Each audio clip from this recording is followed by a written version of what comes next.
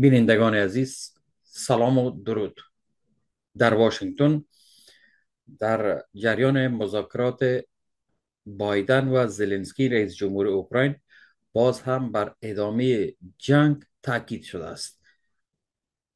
بایدن به طور مشخص اتمام حجت کرد که روسیه پیروز نخواهد شد و یک چند میلیارد دلار دوباره اختصاص داد به جنگ اوکراین که فکر می‌کنم به مو اندازه تا که انتخابات امریکا فرا برسد ای برشان کفایت بکند. اما رانپل عضو سابق سنای امریکا گفت ما زلنسکی را تبدیل به یک کلاهبردار کردیم. هر دفعه می یک چیزی یعنی پولی را از ما میقاپه و جیب می‌زنه و بعدا میره دوباره پس میه ترامپ گفت شهرهای آباد اوکراین دیگه وجود نداره. رانپل عضو سابق مجلس نمایندگان بیشتر به مجلس سنا گفت و مجلس نمایندگان گفت که زلنسکی دیوانوار مرا عصبانی می‌کنه. و عجیب است کسایی که او را میپذیرن به او احترام می‌کنن او را به صلاح سر دست بالا می‌کنن در عوض میان از شهروندان امریکایی پول میدزدند و او را به یک جنگ میدن که ما را فقیرتر می‌کنن. زلنسکی به سادگی از این فرصت استفاده می‌کنه تبدیل به یک کلاهبردار شده است. بله جنگ کلاهبرداری است. این جنگ یعنی پیش از اصطلاح دو سرباخت است.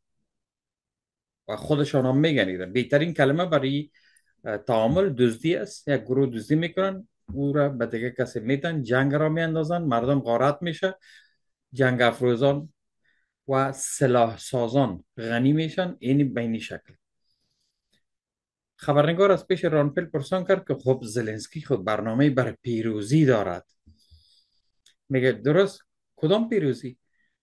برنامه برنده شدن نیست. یک برنامه است از روی ناامیدی طرح شده. ما می‌تونیم آخرین ذره پول مالیات دهنده های امریکا را بگیریم بیاندازیم به دامن زلنسکی. معلوم است که زلنسکی برنامه برای برنده شدن داره و یک کنایه است به خاطر از که اوکراینیا در وضع بسیار اصفاری هستند روسا قوی هستند. این سیاست بر شهروندان امریکایی پر هزینه مضر است. یعنی تاوان امریکا داده میره و بسیار خطرناک است. ممکن است از نظر اقتصادی دیر شوه باز اثراتش. برحال از نظر فنی امریکا در یک موقعیت کاملا خراب قرار داره. تا جایی که به طرح جدید پیروزی مربوط میشه کاملا فقط میشه گفت که خندادار است. یعنی پیروزی چی؟ بایدن خودش چی میگه؟ در دیدار با زلنسکی گفت که خطاب به زلنسکی گفت که خودت یک طرح تقریبی برای پیروزی برای ما ارائه کردی. ما روش صحبت می‌کنیم. شما باید پیروز شوید. ما باید موقعیت اوکراین در میدان نبرد تقویت بکنیم. یک بسته کمکی جدید دو اشاریه چار میلیارد دلاری را با تمام از بودجه باقی مانده در اختیار شما قرار میتیم و این شاید موقعیت شما را تقویت بکنه. در دو میلیارد دلار نقلای چوبی را در جیب زلنسکی انداخت. هر بر از بسیار زیاد است. یعنی با جیب پر برمیگرده اما ای در جنگ هیچ تاثیر نداره جنگ خب میگه در مرحله بعد ما ابزارهایی داریم که موفقیت در مدت اوکراین تضمین بکنیم. خب چطور؟ ما از عضویت اوکراین در ناتو و اتحادیه اروپا پشتیبانی خواهیم کرد. بیخی دیگه. پشت گفتیم مردم ما شما پشت نخات سیاه روانش کرد. ما مطمئن می خواهیم شد که اوکراین ابزار لازم برای مقابله با هر گونه تجاوز آینده از جانب روسیه را داره چطور؟ چیکار آینده را چی می‌کنیم؟ حالا خیلی نجاتش خوبتین نمیشه. یعنی تقریبا مذاکرات بایدن و زلنسکی و که جریانش دنبال کردم کاملا یک چیز نمایشی و ناکام بود. رئیس جمهور پولند دودا یک گپ بسیار جالب می‌زنه. میگه اگر رئیس جمهور روسیه یعنی اولین کسی باشه که سلاح هسته‌ای را استفاده بکنه در تمام دنیا نفرین میشه. چرا؟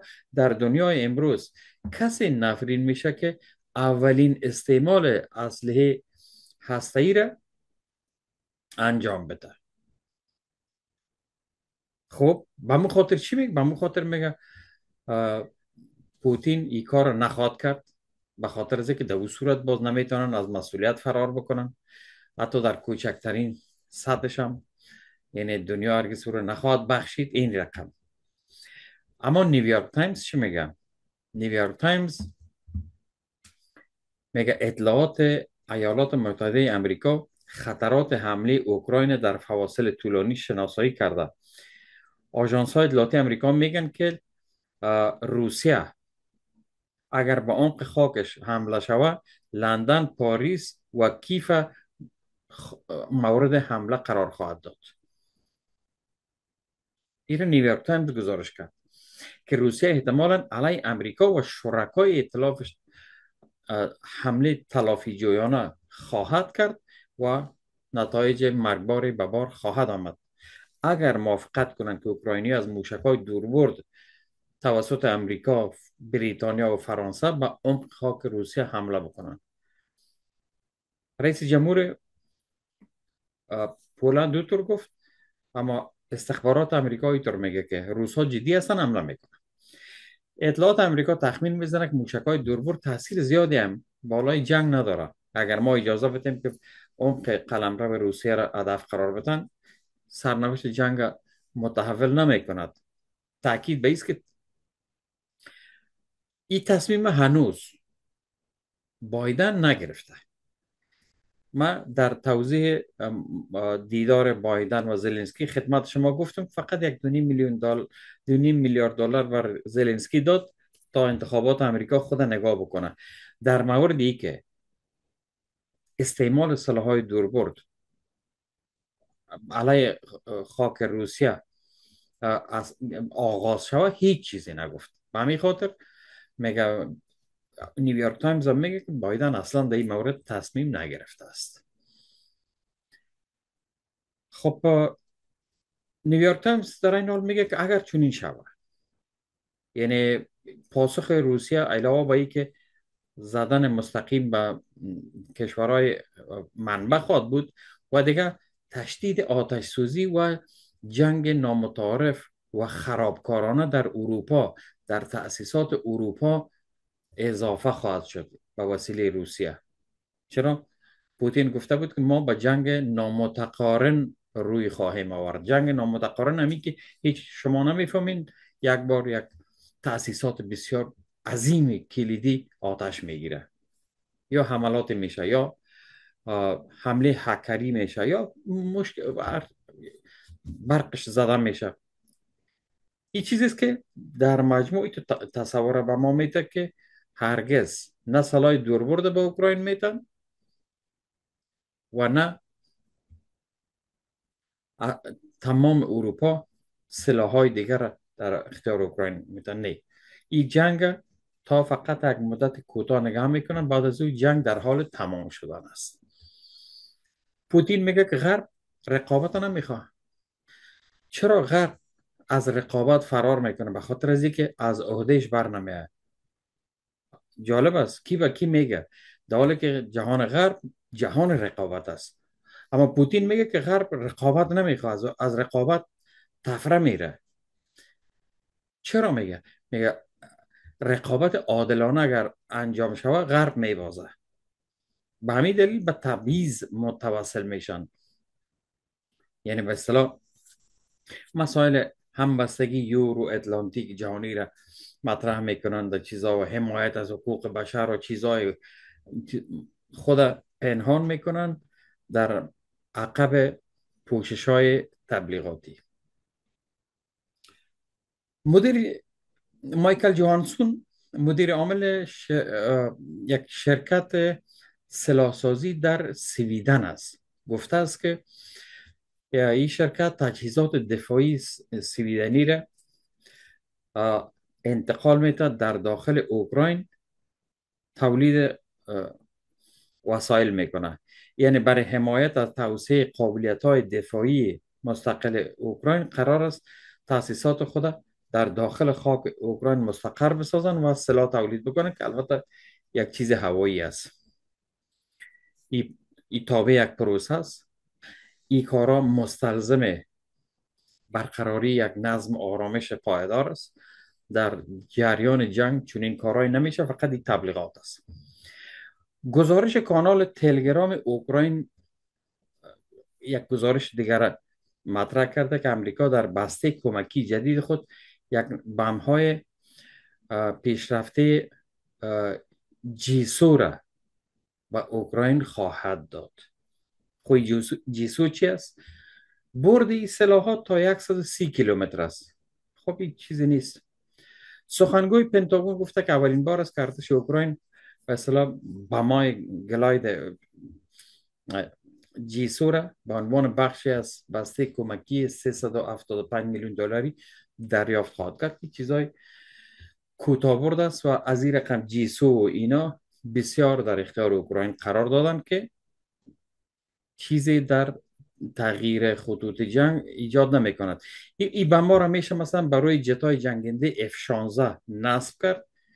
خب ما می‌بینیم که F-16 اصلا پرواز نداره و نصب کردنش هم استعمال کردنش یعنی تقریبا چیزایی است که بسیار به تدارکات و دقت و دقت فنی بیشتر نیاز داره که تا حال ای گپ نشده. روسیه در جریان حمله به فرودگاه در استارو کنستانتینوف. باز هم خبر آمده. در در برنامه دیشب هم مطرح کردم.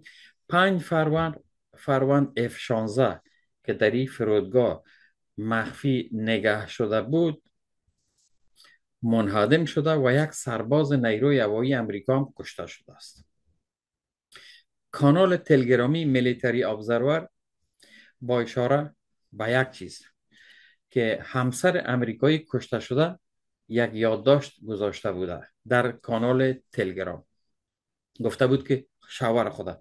استیفن استیون به خاطر برنامه یعنی یک برنامه که به خارج از کشور تهیه شده بود مربی به عنوان مربی و خارج از کشور جان خود از دست داد. نمیفهم که استیون چرا با این ماموریت موافقت کرده بود. و ما هم نمیفهم که چگونه اونا می‌خوان شوهر ما از استارو کنستانتینوف لعنتی برگردانه اینه جسدش پیکر کشته شدهش برگردانه ایره خانمش نوشته بوده. در می پست همچنان آمده که در جریان حمله به فرودگاه پیشتر گفتم پنج جنگنده F-16 بدون پرواز کارش تمام شده است. منابع دیگه که من دیشب گفتم از انهدام دو تا چهار فروند F-16 خبر داده بودن که این رسما تا حال تایید نشده. خب ترامپ. ترامپ قرار است با زلنسکی امروز دیدار بکند. یا کرده باشد. قبل از او گفت که اوکراین دیگه وجود نداره. چرا؟ اوکراین در سال 2022 از انجام یک توافق خودداری کرده که او را توافق بد گفته بودن منظورش همون سبوتاژ مذاکرات استانبول بود که روسیه پیشنهاد کرد. قرار بود امو وقت یک آتش بس می‌شد بوریس جانسون به تحریک جو بایدن زیر قول خود زدن. زلنسکی را گفتن که ما شما را اسلحه میتیم شما پیروز میشین. و توافق به هم بزنین.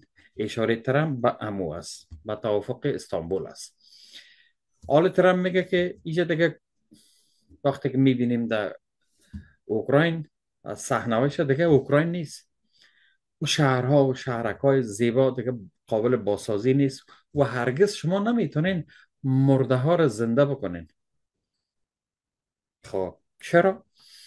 میگه اشاره ترم به که هر معامله حتی بدترین معامله بهتر از او چیزی بود که آل ما داریم. یعنی باید توافق نامه 2022 را به تحریک جو بایدن شما زیر پا نمی کردید کاری که کرد کار به اینجا کشیده که شهرهای زیبا و بزرگ اوکراین تبدیل به ویرانه های سیاه و به یک زمین سوخته شده. یه آدم میگه که ما به دادن میلیاردها دلار به یک کسی که حاضر و معامله و تعامل نیست منظور زلنسکی. ما ادامه داده روان هستیم. اگر همون معامله را انجام می‌دادن بهتر می‌شد. از بعضی چیزها منصرف می‌شدن در عوض زندگی رو به دست می آوردن و هر ساختمانی که آل ایستاده نیست ایستاده می بود و هر برج اوکراین که خراب شده برای دو هزار سال دیگه او ایستاده می بود اما اینا کاری کردن که اونا دیگه وجود ندارن. جالب نکاتی رو میگم. ترام میگه بایدن و کامالا هریس با ادامه دادن پول مایمات به زلنسکی. یعنی هرگز به اصطلاح چیزی رو به دست نمیارن و این در تاریخ نباید اتفاق می افتاد اوکراین در حال تمام شدن سرباز است. یعنی سرباز نداره از بچه های کوچک و پیر استفاده می‌کنن به خاطر از اینکه سربازانشان همه فرسوده و در حال مرگ هستند. این شدید و لحنترین خطابه واکنشی ترامپ نسبت به جنگ اوکراین بود.